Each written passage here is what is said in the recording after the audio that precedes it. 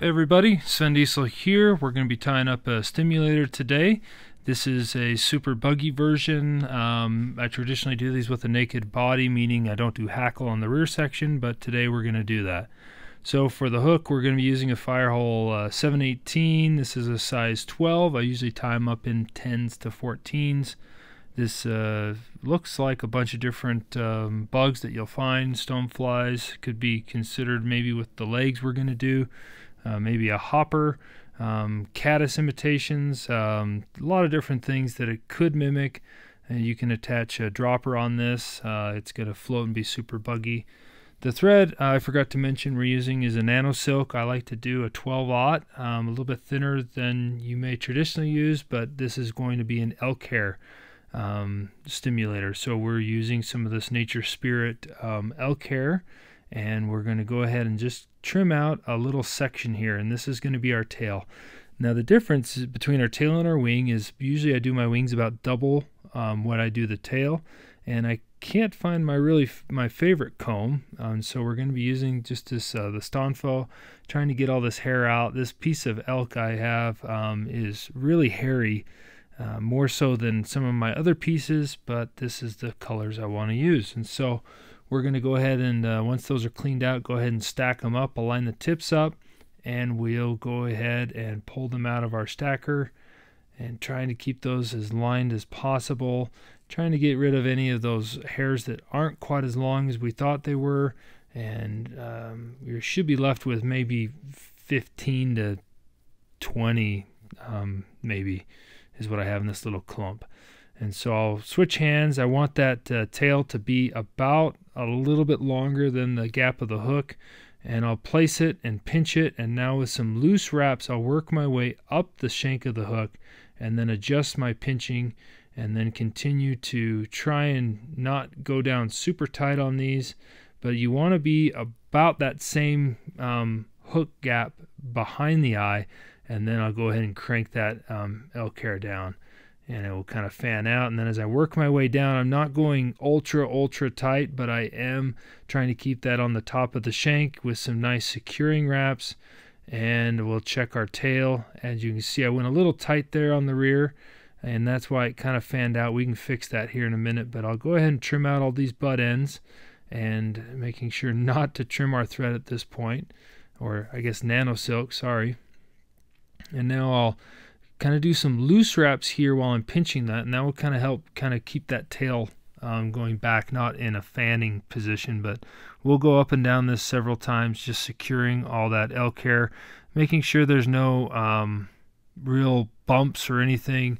We're not going to be doing a floss body or a, a tinsel body. We're going to be dubbing it, and so we don't need to be perfect, but we're going to definitely be using some hackle. This is uh, uh, Golden Badger, and it's uh, you know I've got some 14s to 18s in here. We're gonna try and pick a little bit of a longer uh, fiber, or sorry, feather for this. And what I'll do is as I as I get that feather, I'm gonna go ahead and just trim that little fluff off the bottom. Some of these sometimes it has a fluff, and we'll go ahead and I actually will strip the one side of this for the rear section. Now, what I do is I basically pull the fibers back against the stem, trying not to grab any of the fibers on the other side. And I'll strip here about four, maybe five inches. And you don't have to do this. Um, I do it because when I counter rib this hackle, if it's got both hackle fibers on each side, it's just super hard to not trap any down. Um, so I'm going to um, strip the side and that's how I typically do them. I leave a little bit of gap there at the end so I'm not tying it right up against the first fiber and that way I have a little bit of room to orient those fibers going the right way. And for securing this, since it is a dry fly, I love this 0.1 millimeter Semperfli wire. It's uh, ultra thin, it doesn't weigh much, and it uh, holds the hackle together and should be durable. So we'll go ahead and tie that in and I'll tie it in all the way back to the uh, butt end and I'm not doing a tight wrap there otherwise the tail will flare. And now it comes time to cover our body in dubbing. I've got a gray um, kind of a charcoal gray dubbing here. I'm just going to pull out a nice little clump of this. Um, this is a dry fly dubbing and we will um, basically noodle it onto our thread and this noodle is just excellent to this uh, nano silk uh, didn't need to use any wax or anything. It just spins right on. You can do it as sparse or as thick as you want. We're going to kind of taper this body using the dubbing. And so I want the very tip of this to be really really thin uh, thin noodle. And you notice I don't have my thread all the way at the back because I don't want to be uh, pulling tight on that uh, to on the rear section to fan it out. And so I'll do a couple loose wraps to get back there and then I'll just start going forward. And I'm doing touching wraps that are laying down a nice body and I got a little thick clump there I'll just twist it out a little tighter and with other colors of this the gray doesn't really show it but it really gives kind of a segmentation look when I wrap it this tight and especially with these two tones in this dubbing. Um, I don't know if that the fish care about that, but um, I sure think it helps benefit our situation of trying to pierce some lips. So um, dubbing does uh, could affect the uh, um, the appearance of this. It will uh, be on top of the water, but um, you know I really I do well with this gray color. I do well with olives. I do sometimes even good with like a hot color, like an orange, so or a, a yellow, yellow Sally's, you know, imitation. But I'm going to start wrapping my hackle here, making sure that I've oriented this feather correctly. If you don't um, have it going the way you want, notice how these fibers are concaving backwards towards the tail. If they're going forward, just undo it and you know start again. Uh, if you're using quality hackle, the stem shouldn't break and it should just you know lay down um, just like it is now. Uh, but that's uh, looking really really nice. I segmented the body and uh, got it up to about um, where our, our we ended our dubbing, and I like to have a nice little drop off there. I'm not building a taper. I want it to be kind of a drop off because I'm going to be using that to leverage my wing up. So we'll we'll secure our hackle fiber with some wraps behind and in front, and then I like to just take that all those loose fibers that are kind of going to get in my way later and try and wrap them onto the shank. And we'll just go ahead and do a, a little um, half hitch here uh, around my camera. This isn't going as smooth as I want. There we go. And I'm going to get this out of the way. This is where I think the rotary vise is ideal because as I'm palm or trying to counter rib this hackle, if you don't, you're going to be trapping a lot more fibers than you would.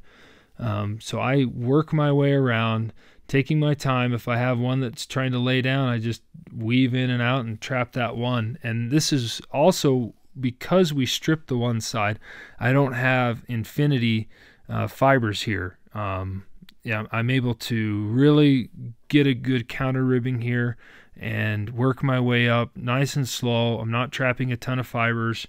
And traditionally, when I don't strip it, I trap way, way, way more fibers than this. Um, so it's just a little trick I do to save me a little bit of time when I'm trying to, you know, make this look good but still be and fishable and durable. I know a lot of tyers out there uh, leave off this step because it traps down the hackle, um, but I I want to fish this, and I don't want that first hit to um, cause my hackle to come undone. And then what was the point of tying it in and spending this time? So this wire should help hold it in place and keep it durable. And I did a couple extra wraps up here just to hold it in place and keep it a little bit more durable. It's not adding weight that's going to cause it to not float. And we'll go ahead and use our thread and it snipped right out because I wiggled it nice and easy. So now it comes time for our wing. I do an underwing usually of some Krystal Flash and for this I'm selecting uh, kind of a, a, goldish yellow. What I do is I grab about uh, 8 to 10 strands maybe. I don't ever really count it and I just kind of fold it in half like this and then I cut it and making sure that these tips are very much aligned. It makes it a little bit easier here because I'm just going to get my thread here in the middle of my um, shank opening here and we will tie those in. And the problem is we're tying it against this um, hump here. And sometimes my thread wants to walk back down the, the, the, the, the, the, the ramp I'm building. And so I just put a little bit of this uh, Wapsi. This is uh, some uh, super glue, just brush a little bit on, and then that way as I'm wrapping up this ramp to make sure that those are pressed right up against that hump, I can my thread's not moving on me and it just look it's going to be popping those right up. Um, so that way we don't have to build up anything behind it. It's being pressed up against that and now it's time for our overwing. And I don't trim my Krystal Flash until I have my overwing in place. And so I'm just going to grab about double the amount of uh, fibers, um, hair than I did for my tail. And we'll just go ahead and do the same process. Try and clean it out the best we can. Um, I know they make specific um, elk hair um, hides for stimulators that might be less hairy, but I just have this and I make what I have work. If it's a deer hair that you have, go ahead and use the deer hair. Um, I've done some out of moose before, uh, black bear. So my favorite's still an elk hair. So I just I don't know. Maybe it's because my first flies I tied were caddis and elk hair caddis, and I always just go back to the elk hair. So um, I want this to be about the length of butting into the midsection of my tail, and so I'm gonna try and keep all these um, these these um, hair on top of the hook shank, but you can see it's going to become a real good mess, and I'm okay with that because we're going to trim it all up. So I'll just without snipping your thread, come in here, trim it up, uh, trying to get those uh, the butt ends of this uh, this elk hair as tight into um, the cone we've kind of shaped uh, as possible, but we're going to do more securing wraps here and in a few seconds once I get all these out. And I want to make sure that eye is clean. And that looks pretty freaking good. So I'll do a test here up towards the eye. And um, I like how it's looking. I don't have anything blocking the eye. I kind of do some wraps so it pushes the fibers back a little bit. And then I'm going to ramp up this all the way to that hump.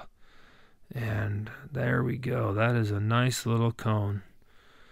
I might have gone a little too far up, fanned them out, but I don't think the fish care. I'll trim my Krystal Flash a little bit longer than my longest elk hair, and we are ready to build this head. So there's a couple of things we're going to be tying in. The first is our hackle. Now for the heads, I do not um, strip the one side. I leave it um, a little bit more of a full head, and we'll just get a little section here to uh, tie in. So I just strip some of the fibers off, and I want to orient it so that the I leave a little bit of space. I do that every time I tie in some hackle. I, I've got about a, I don't know, a quarter of a turn around the shank gap, and that way I can make sure that it's laying down right. But I want the fibers going back, um, so you got to plan for that first wrap. And for this, we're going to be adding some uh, rubber legs.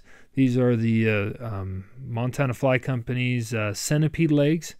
I really love these things. They're fun to. They come in a bunch of different colors and uh, I just enjoy tying them in. And so I'm just going to uh, secure it about midway and then work my way back almost to where we tied in our the, our wing.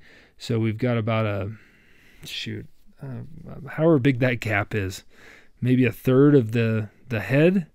And then I'll tie in the other side on the um, side of the shank so that these legs are going outwards.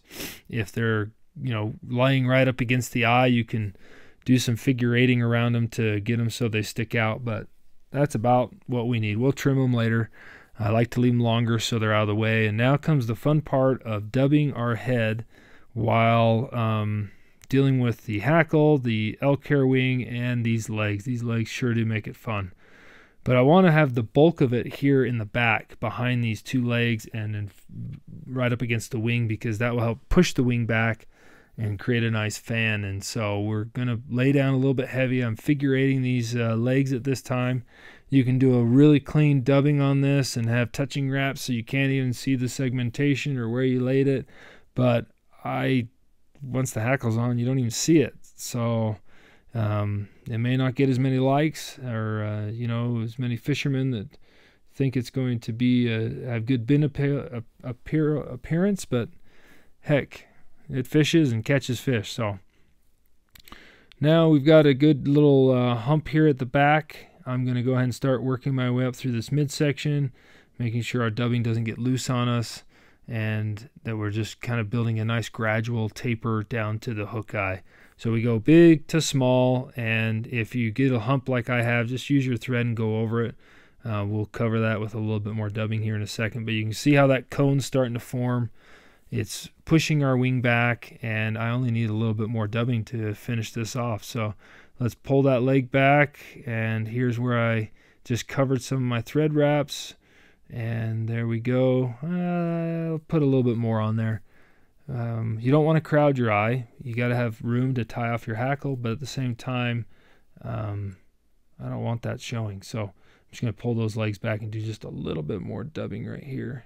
And that's perfect.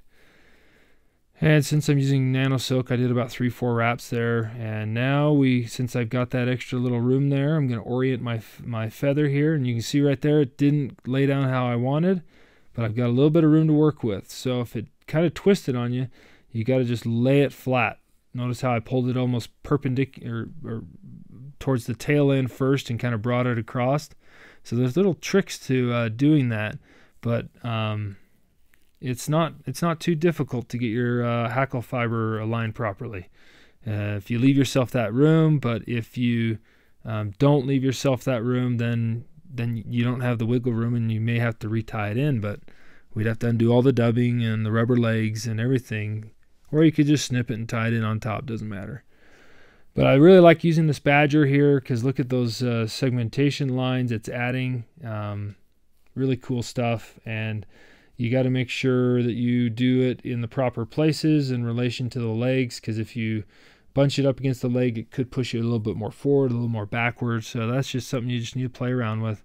And then as you get up towards the eye, you usually do a full wrap and then we'll secure it with uh, behind the wrap and then I'll just pull all these fibers back and do a bunch of wraps over the top and then one more behind it making sure try not to trap the uh, the hackle fibers I'm not really good at this but I have a trick to make it look good so you can spend a lot of time on this and you know not trap hackle fibers and cover the eye but I'm just going to do a whip finish right now and get it uh, secured and uh, almost finished but I found that uh, after I do the first whip finish, I usually grab this uh, tool I have. It's a cauterizing tool. It uh, really helps to uh, uh, trim up those uh, those hairs that are not in the way. The problem is we got a lot of you know chicken hackle right here. But I just heat this up and just start further away than I need to be and just kind of burn those hairs back so they're out of my way and allowing me to finish this fly with a clean eye. And that was easy peasy. Now I'm just going to build up a little bit of a head, um, making sure I got my thread nice and tight up against here. And I'll just do, you know, as many wraps as I need to make sure that that's secure and that I'm building up a nice little head. Um, there we go. So with this nano silky, you sometimes need to do more wraps. But we'll go ahead and do another whip finish now after all those wraps, uh, making sure at this point not to trap a hackle fiber like I just did um, over the eye again. oh gosh.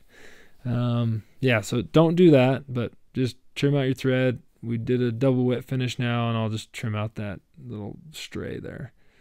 But that looks pretty good. Um, pretty good little stimulator. I love the colors of these. I love the legs. We'll just trim them now to be proportionate. You can leave them a little longer, a little shorter. I like to leave mine a little bit longer. You can always cut them shorter later, but you can never allow them to grow again. But uh, color combinations are endless. Um, I usually do a little bit of a head cement um, or UV resin just to make sure that this hackle isn't going anywhere and that thread's not going to come undone because, uh, you know, that's the last thing you want is to have that thread come undone and your fly's ruined. You spent, you know, 15 minutes on this. And I'll just do a resin check on that eye, making sure nothing's in the eye before I cure it. You can just use your bodkin for that. And I'll go ahead and cure that up for about 10 to 15 seconds. And then we are done. And we've got a beautiful stimulator. The wing is really uh, a little bit narrow. Um, I could always fan it out a little bit more, but um, when I do the legs, I try to keep the wing a little bit narrower. And so there we go. Um, tie some up. Color combinations are endless. Fish them, and uh, hopefully they pierce some lips for you.